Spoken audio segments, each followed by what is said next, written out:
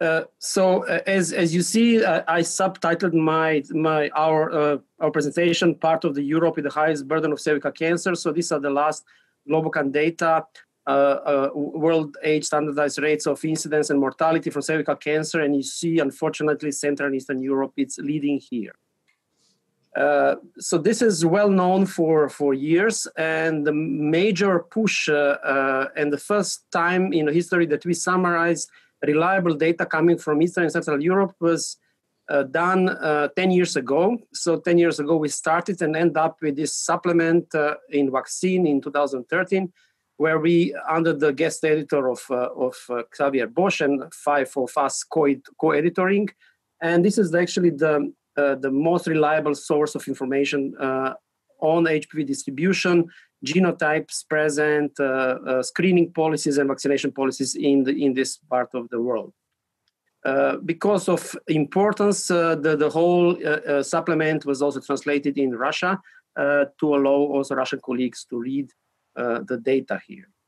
So we, in this supplement, actually we covered large parts of the world, starting from the western part, from Slovenia, my country here, Czech Republic to the eastern part of the Russia.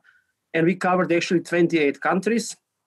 And already uh, uh, in, in that time, we actually decided to divide all these countries into two parts. And uh, uh the first part was covered, uh, was led by me, and we covered here the, the, the, the 15 countries which are listed here. Uh, and we summarize everything in this in this uh, paper in 2013 and Another part of the countries, the, the, the, the all this review was uh, uh, led by Svetlana, who will present you update on the on the another part of the of the countries. Uh, for the first time, we also prepared a specially tailored recommendations for cervical cancer pre- prevention in Central Eastern Europe, uh, also translated in Russian.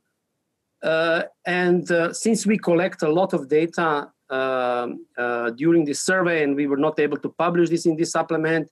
There was additional uh, uh, long paper summarizing situation in different countries in the in the region. So what I will present you today is uh, it's update of, of this early early survey. The last we are usually doing this every one or two years. The last one we did was in November 2019. I try uh, uh, you know, to update this uh, with the current situation, but it is uh, impossible to reach colleagues during the COVID in the last months. So we will rely, on the data uh, uh, which we collected last time in November 2019. We use the literature search of the peer-reviewed journals, abstract for the main conferences, official websites of WHO, ECDC, other informations, government websites, updates by emails, and we use also our internal files. So if if you look at this uh, this map, it's everything looks fantastic. So that means out of 15 countries, 10 countries has organized cervical cancer screening, and only five opportunistic. But as you know, the devil is always in details. So I will just you summarize you now the real situation. Actually, uh, among these um, 10 countries which have organized cervical cancer screening, the only country which actually exceeded 70% coverage in three years, which is actually the, the, the, the level which is requested by European Commission. Uh, the Slovenia is the only one. So the Hungary uh, start organized screening in 2004, but they have very low coverage in organized screening. But I don't know, uh, we, we can discuss this later on, but Hungarian uh, women prefer to go outside the program. So around 60% of all attendees is outside in opportunistic program and only 10% actually uh, participating in organized screening. In Czech Republic, Estonia, Lithuania, and Latvia, they have a partially functioning organized uh, cervical cancer screening, but low coverage is reported. It's the same story uh, for Romania. For Montenegro, this is the only country which actually are using HPV-based uh, screening, but as you see, the coverage it's very low and did not really increase substantially uh, uh, during the first two years. In Bulgaria, they, they implemented organized uh, screening program at the end of 2018. Uh, coverage rates are not available. Target population is uh, it's here. The similar story in Slovakia. They just started uh, organized screening program. So maybe two countries which we need to mention. These are countries which implemented organized screening, and then from unknown, many mainly political reasons, stop organized screening and return back to the chaotic opportunistic screening. So the, first one is Croatia. So they start uh, organized screening in December 2012. Then uh, the coverage they reached in two years was around 30%. And then politicians decide to stop organized screening in January and return back to the opportunistic screening. And the same story was in Poland. They started 2004, coverage obtained 70%, and then decided to stop invitations and uh, st- start again opportunistic screening. So if I summarize the situation in 2019 in these 15 countries, so uh, 10 countries have officially proclaimed organized cervical cancer screening. But as you see, the only in a single country coverage, it's over 70%. In great majority of countries with organized screening, coverage data are not available. Uh, uh but we assume there is a substantial attendance outside official national screening programs uh, or they're using opportunistic settings. In five countries out of 15, uh, there is only opportunistic screening with insufficient funding and infrastructure, low population coverage, moderate to poor quality cytology. National HPV-based organized uh, cervical screening only in single country, but with extremely low coverage. In the remaining countries, uh, you know, we are still using cytology. Uh, we have uh, over screening of the some population and under screening on, on, on the rest. So we have a relatively high coverage in women below 40 and very poor coverage in older women. There is a lack of financial resources, uh, cervical cancer, and in general, women health. Uh, it's not high on political agenda in the region. And we have also several country-specific problems, like, for example, in, in, in Bosnia, there is no population registry.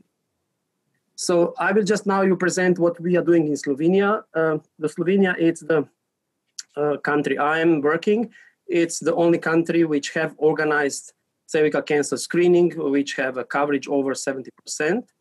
Uh, and we also have the national uh, immunization program and coverage, current coverage is around 60%. So our uh, program is targeting women between 20 and 64. We screen every three years after two consecutive negative smears. We use still conventional cytology, and cytology is interpreted by certified cytologists. Uh, uh, our sensitivity, uh, cross-sectional sensitivity of cytology for CIN2 plus is around 66%, CIN3 80%, and we use HPV reflex testing for five indications. We have integration of the central uh, national registry of cytology, histology, and HPV test results. Uh, uh, we have a central national population registry and also national cancer registry. So what we did, it's actually quite remarkable, and we are really uh, proud of this. Uh, it's only country showing such progress in Eastern and Central Europe.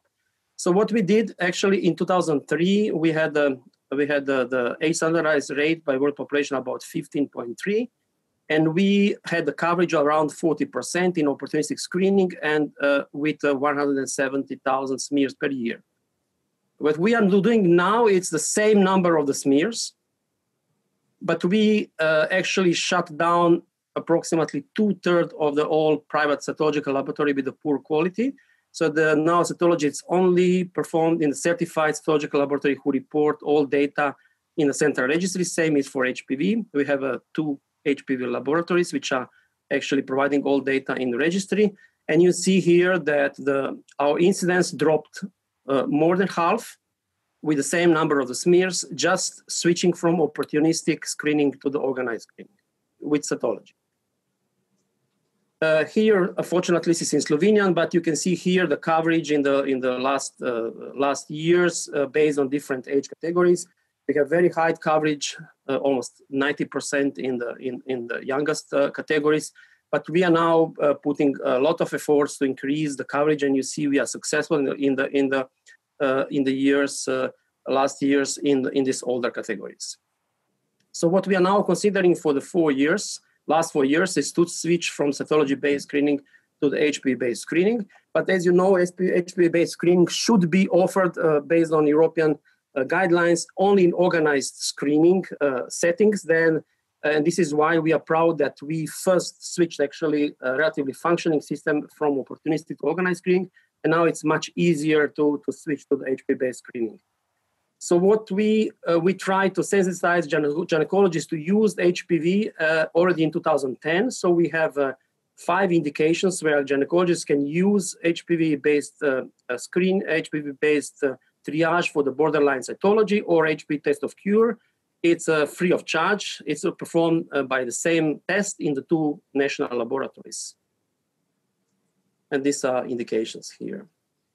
So then we did, uh, uh, to prepare for the HPV-based screening, we needed actually the the, the, uh, the, the, the, the, burden of the HPV high-risk infections measured by, high, by validated clinical assays in different age categories. Uh, for, so for this reason, we performed the first screening round uh, in 2009-2010, and then we um, uh, repeat this after three years with different HPV tests. And this is actually the, the, the, the, the curve of the prevalence of infection with a high risk uh, measured now because some of these samples was also used in Valgent with several uh, uh, validated clinical assays. And it's clear, like in majority of the countries, that it is impossible without proper triage to make any HP-based screening uh, in the earlier earlier ages here, around 25 or 30. Uh, with the follow-up of the cohort, actually we proved uh, for the first time in this part of the, of the, of the Europe, actually that the CIN2 plus cases are uh, only accumulated um, in, in cytology negative uh, females and not in HPV negative. So what we are now considering, and the plan was actually for this year, but because of COVID situation, this will be now uh, delayed. Actually, we will uh, switch now from, because we are still using traditional cytology, we will switch to the liquid-based cytology, and this sample will be used uh, for the younger generations, most probably uh, below 35 years, will be liquid-based cytology screening with HPV triage, and above 35 will be will be HPV-based screening with a cytology triage. So we hope that uh, also some countries in the region will follow us, because the situation in Eastern and Central Europe is that people are really not very impressed with the success of Netherlands or Belgium or, or Western Europe, but they need to have champions in uh, Eastern or Central Europe to follow. So this is very important. So there are also many things which we need to fight uh, in Eastern and Central Europe, and I listed here some of the of the uh, perce- perception problems which are obstacle to the to for introduction of the of the HP based screening. So many people believe that the tests who have more genotypes, uh, these are the better HP test. Many people believe the higher price is the better HP test. Also, unfortunately, manufacturing is fighting each other uh, for the for the for the for the part of the market. They they also placed several bizarre case reports, uh, biased evaluations. Uh, uh one of the stories which is always around it's L1 deletion story.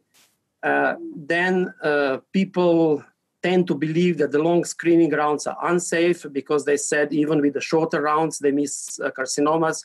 Can you imagine now if we just prolong the the, the round? There are several lobbies, uh, cytological lobby, gynecological lobby, colposcopic lobby. So we need to find a new role for all these people uh, to be part of the of the whole story. Uh, in general, people in uh, Central Europe and Eastern Europe believe that, that there are several, whatever we are doing, including COVID, it's experiment which are serving diagnostic therapeutic companies. There's a general mistrust in the in ineffective public health system. You see that you organized, for example, uh, organized cervical cancer screening, and then people prefer to go on private opportunistic screening because they, they, they believe that the best doctors are in private sector and the worst doctors are working in, in a public sector. And this is why they choose opportunistic screening and, and not, for example, organized screening.